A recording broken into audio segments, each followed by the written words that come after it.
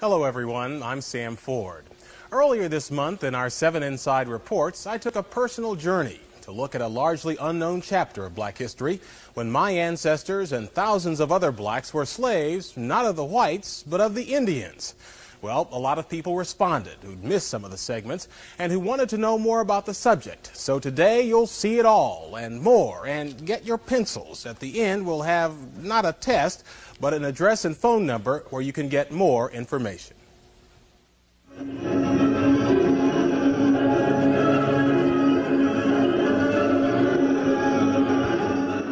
Every summer at Tahlequah, Oklahoma, the Cherokee Indians sponsor their Trail of Tears pageant, the story of how the U.S. government robbed the so-called five civilized tribes of their homelands in the South and moved them by force to Oklahoma.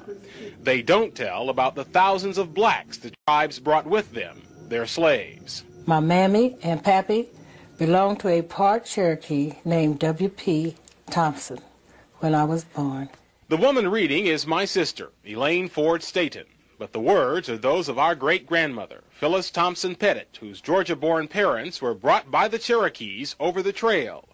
Johnson Thompson was Phyllis's brother. Before that, Pappy had been owned by three different masters. One was the rich Joe Vann, who lived down at Weber's Fall, and another was Chief Lowry of the Cherokees.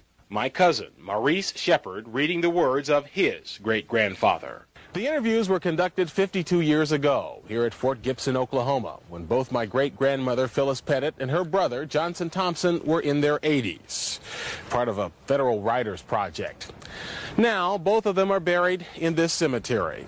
But after I read their words, I was set on a mission to find out how my family became slaves of the Indians. I learned that beginning with the administration of George Washington, it was the policy of the U.S. government to civilize the Indians by teaching them modern farming techniques. To adopt agricultural practices that uh, patterned uh, after the whites. And one of those in the South was slave trade. I don't ever talk about it very much because I think it's a very shameful part of, um, of Cherokee history, and so I've purposely avoided involving myself in that, um, in that whole issue. While the current chief may be ashamed, at the Cherokee Museum today are slave bills of sale, including one for three slaves bought in 1841 by then Principal Chief John Ross. The chief and his brother Lewis were among the biggest slaveholders in the tribe.